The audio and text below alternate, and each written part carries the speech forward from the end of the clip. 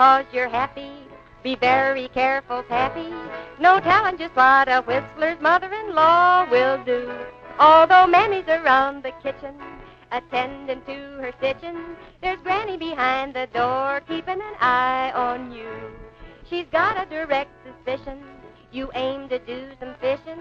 Your whistling, I declare, gave it away for sure. But I reckon you might have known it, might just as well postpone it, cause you ain't a going nowhere except on a lecture tour. Joan, Joan, that's what she'll be calling. Hurry up and hoe that corn. Doggone, I bet she's only stalling. That old lady's up to something sure as you're born. Just listen to Granny cackle. She found your fish and tackle. I'll whistle for all your plans now for the good they'll do. She's got the flivver. She's heading for the river. Well, isn't that like a man's mother-in-law for you?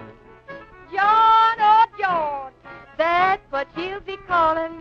Hurry up and hoe that corn. Doggone, I'll bet she's only stalling.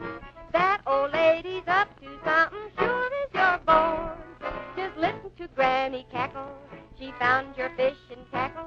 A whistle for all your plans, for all the good they'll do. Look at Granny, she's got the flivver.